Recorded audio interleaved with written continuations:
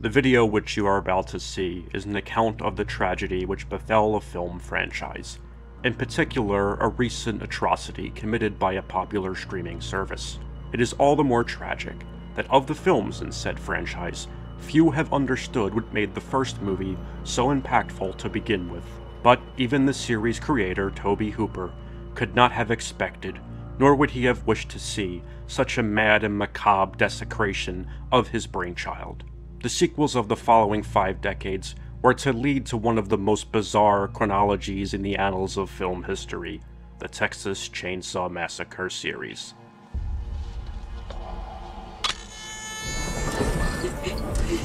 Ron, what are you doing? Try anything and you cancel, bro.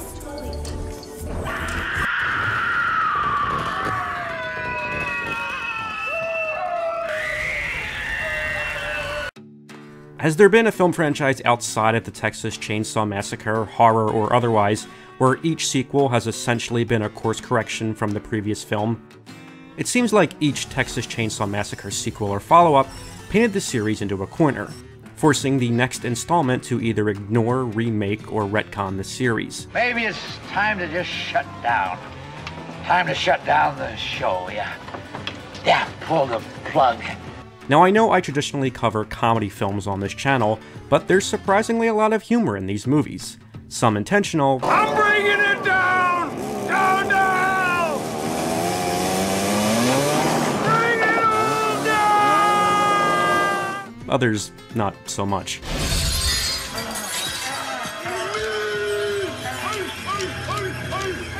It's also just laughable how dead wrong some of these movies have been in trying to capture the success of the original film. Chief amongst them, Netflix's recent Texas Chainsaw Massacre, a legacy sequel that ignores all the other sequels and takes the story to present day, which isn't even the first sequel to do that. Oh well, at least this one wasn't in 3D. Put it down!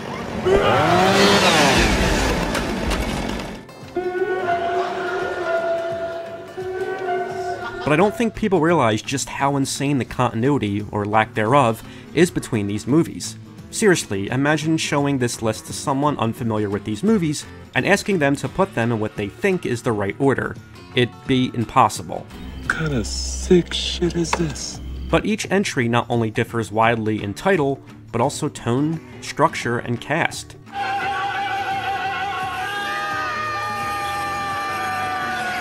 It's all worth discussing though, so let's take a look back at a film franchise that has been massacred more severely than the victims in any of its films. The original 1974 film was groundbreaking in its own right. The brainchild of director-writer Tobe Hooper and co-writer Kim Henkel was the result of the rapidly changing cultural landscape of the 1970s, as well as real-life horror stories like that of Ed Gein. And when I was like three or four years old, uh, and, and so when the Wisconsin relatives came to town, they always had this story, you know, uh, because they could see that it wound me up and it started scaring the hell out of me. It was notoriously low budget, resulting in both a literal and thematic grain that came from being shot on 16mm on location during peak Texas humidity. While Leatherface, the human flesh wearing mute played by Gunnar Hansen, became the literal poster child for the movie, he was actually part of an ensemble of equally sadistic characters, including Drayton Sawyer, the Hitchhiker, and Grandpa. It laid the foundation for virtually every slasher film that followed and paved the way for generations of horror filmmakers, along with being a huge commercial success.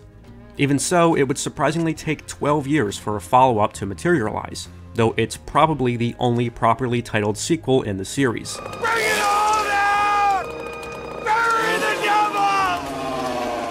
On top of having the polish and budget of a studio film, with Cannon Films producing, Tobe Hooper also wanted this film to differ tonally and be more comedic in tone. I mean, this is a, I mean, there's some tricks up my sleeve that, uh, you know, that makes this different. It's certainly different from all the 13ths and the Halloweens and, uh, you know, and all of those. In what way? Well, I can't, I can't, I gotta, I, I'll have to wait and let you see the picture.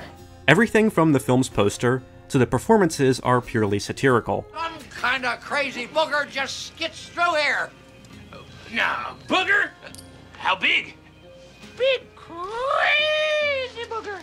Leatherface, Drayton, and Grandpa return, along with new sibling Chop Top, played by Bill Moseley.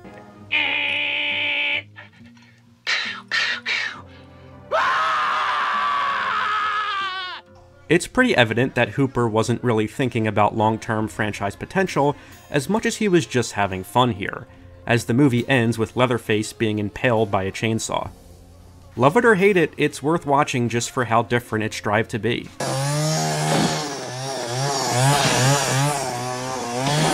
Oh, but at the time of this movie's release, 1986, the horror genre was experiencing a boom like it never had before, with Friday the 13th and Nightmare on Elm Street becoming major franchises.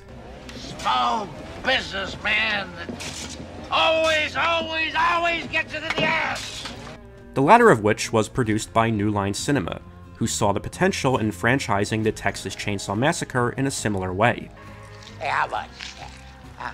Let's make a deal right here. Real cash money. They acquired the rights in the late 80s and set out to make Leatherface their next horror icon, even releasing this teaser trailer before they had a script completed.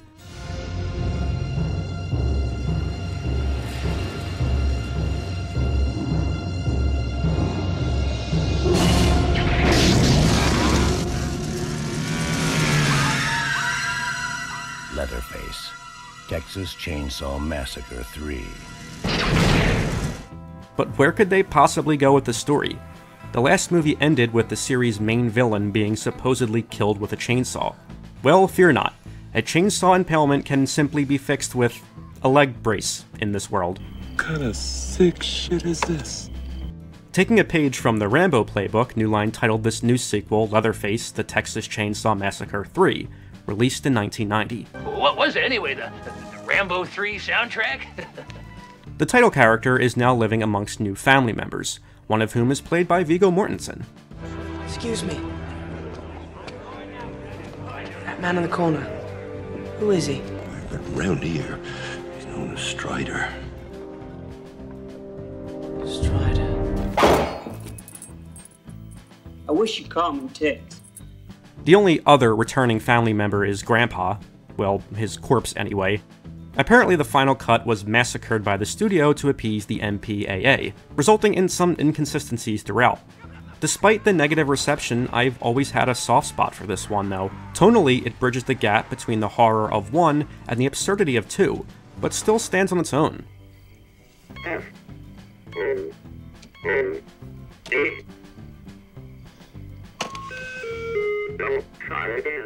It's also enhanced by an amazing performance by the great Ken Foree.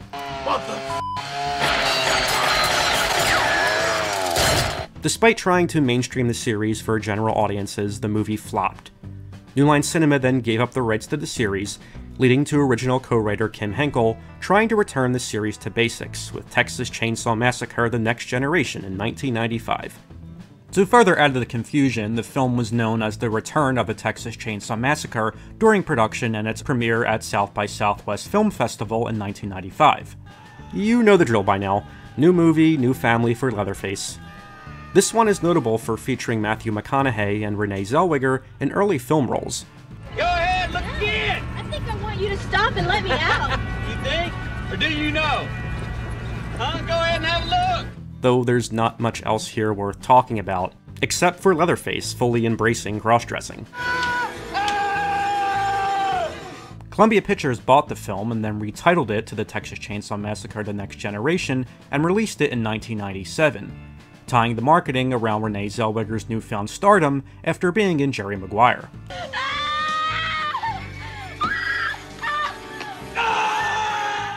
I appreciate Henkel for trying to return the series to its roots, but man is this movie bad. There's a monster chasing her with a chainsaw. What kind of sick shit is this? A remake would come in 2003, produced by Michael Bay and Platinum Dunes. I have to give this one credit for finally making Leatherface part of an equally terrifying family again, including the great R. Lee Ermey as his uncle. She ain't gonna bite you. She's deader than a goddamn doornail. Get a hold of her and pick her up. Though once again, they painted themselves into a corner, with Leatherface losing an arm at the end of the movie. Though the film was a success, I guess they felt they couldn't logically go forward with the story, resulting in a prequel to the remake in 2006. I'm glad you brought your little buddy. Hmm. I like your new face. I personally would have loved a follow up, though, where Leatherface has a chainsaw arm, kinda like Ash Williams of the Evil Dead series. Despite achieving some financial success, Platinum Dunes discontinued their remake series. The brand was acquired by Lionsgate in 2009. Hey, how much? Uh, let's make a deal right here. Who, instead of yet another remake, chose to make a direct sequel to the original, picking up just moments after the ending and then flash forwarding to the present day. Despite some inspiring creative choices, the movie falls apart by the end though, with the protagonist, played by Alexandra Daddario, teaming up with Leatherface after discovering he's her long lost cousin. Do your thing, cuz. This one also has the worst title of the bunch. It's just called Texas Chainsaw. It'd be like calling a Nightmare on Elm Street sequel just Elm Street. And it's also in 3D for terribly dated shots like this.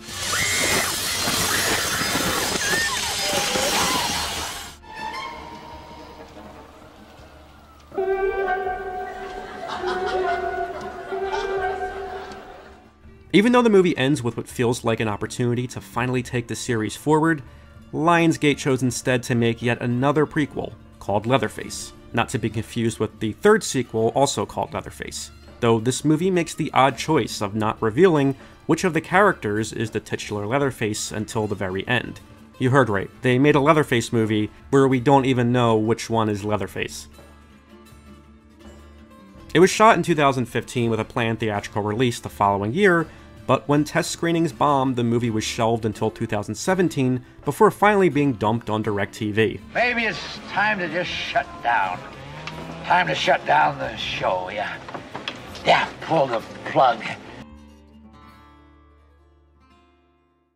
With the series having gone in every possible direction, you would think it'd be impossible to logically make a sequel. Well, then came Halloween 2018 showing the correct way to do a legacy sequel. It also became one of the top grossing R rated movies of all time. Dollar, dollar bills, y'all. Inspiring other studios to acquire horror properties for similar treatment. Uh, let's make a deal right here. Legendary purchased the rights to the series that year, and quickly started planning their sequel. Mimicking the structure of the new Halloween, they envisioned a sequel that ignored all the other sequels, centering around an older Leatherface wreaking havoc in the present day. You know, exactly the same thing they did in 2013. I'll actually give Texas Chainsaw 3D credit though in the creative way they brought Leatherface into the present, with him being rushed into hiding after the events of the first movie and kept hidden under the watchful eye of his grandmother, until she dies and he is accidentally freed. It explains why there hasn't been another massacre since 1973, while still respecting the character's lore. In this new installment, it's explained that after the events of the first movie, Leatherface entered an orphanage where he's remained for 50 years, just waiting for some meddling kids to show up, even hiding his chainsaw in the wall for just such a purpose. That still works, after 50 years of inactivity. I'm getting ahead of myself though. The problems with this movie began almost immediately. The original directors hired, siblings Ryan and Andy Tohill, were fired only a week into production. They were replaced with David Blue Garcia, who reshot the movie from scratch. While the reason given at the time was that the duo left the project due to creative differences, it seems that Legendary was instrumenting story changes that the pair didn't agree with. Get the fuck out of here! The reshot movie reportedly had disastrous test screenings, though, resulting to it being trimmed to just over an hour and sold to Netflix instead of releasing theatrically. Real cash money. Now, it's worth mentioning that aside from the third film being shot in California and 3D being shot in Louisiana, most of the films were shot in Texas. And rightfully so, as Texas is an integral part of these movies. Number one, the Sawyers are number one. number one. the 2017 prequel was shot in Bulgaria for budgetary reasons, and so is this one. And it shows. Not a single location in this movie looks like it's actually Texas. 90% of the movie takes place on this downtown set that looks like the main street of a theme park. This set is doubling for what's supposed to be Harlow, Texas, an essentially abandoned town that's been bought by a group of influencers, who plan to auction off buildings to gentrify the area. And sold to Candace Brady of Brady's Brunch. Oh, I love brunch. It's like the writers failed to understand any hint of what made the original movie terrifying. The young protagonists there are just out for a summer drive when they end up stranded. It makes what happens all the more horrific, with them just being at the wrong place at the wrong time. It gives the Sawyers a sadistic edge in how brutal they are for no real reason. Here, not only do these bland, boring characters make themselves instantly unwelcomed in this town, they also kinda draw first blood by giving Leatherface's adoptive mother a heart attack. I paid everything I owed. This is still our house. You're wrong. I'm sorry, but. I've got a title that says otherwise. This happens when they wrongfully evict her from a home that she still owns, but I don't know why the police don't realize this. Get the fuck out of here! The only one of the teen characters that has any kind of arc is Lila. That arc being she survived a school shooting and needs to overcome that or something, I don't know. Speaking to Collider, producer Fede Alvarez commented on this story element, saying, I think you do a movie that's called Texas Chainsaw Massacre in this day and age, it wasn't going to be called a massacre by just killing five people. And the shooting, in a way, at the beginning kind of shows that. The fact that we live in times when massacres do happen. Okay, not to come back to Halloween 2018 again, but do you remember the subtle way that they handled the same theme? There's a lot worse stuff that's happening today, and like, I mean, what, a couple people getting killed by one guy with a knife is not that big of a deal. Here, they force in that same theme with a lot less subtlety. Also, a group of young people being horrifically murdered by a cannibalistic family with one killer still at large would still be referred to as a massacre in the present day. It's different than Michael Myers stabbing four people and being caught. Speaking of forced things here, the original film's protagonist, Sally Hardesty, returns, now a hardened senior citizen hell-bent on revenge. She has spent the last 50 years waiting for Leatherface to resurface. Sound familiar? Yeah, it went really. It went. Hey, mom. That's mine. Now, unlike Laurie Strode, Sally Hardesty feels so out of place in a legacy sequel. Not only did the original Sally actress Marilyn Burns pass away in 2014, but the character just has no logical reason to be in this story. It's him, isn't it? Leatherface. Also, why hasn't she been able to find Leatherface for 50 years? He was wearing a mask. Not easy to locate someone if you don't know what they look like. Okay, but even without the mask, wouldn't it be easy to line up the hulking, lumbering, old mute men with bad teeth nearby? Especially considering it's a desolate area. When Sally finally does find him, does she kill him? No. She goes full Inigo Montoya on him. Pamela. Jerry. And Franklin. Prepare to die. She ends up missing multiple opportunities to end him, which results in her own death, giving her character no purpose. Get the fuck out of here! The movie actually comes really close to giving her arc a payoff when Sally realizes that Leatherface doesn't even remember her. You don't remember me. Because he wouldn't. The first movie showed us just what a mindless killer he was. He wasn't motivated by revenge, but by pure evil. It's why the horror in that original movie is so brutal. And not only that, Leatherface wasn't the only monster. He was a product of a family of monsters.